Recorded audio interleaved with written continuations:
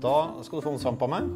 Og så skal vi begynne med et middel som vi skal ta oss og smøre på bumperen trimgel, heter det, som vi bare smører inn i, inn i plasten. Og da tar du også alle plastdetaljer og alt sammen, og da vedlikeholder du det også. Ja.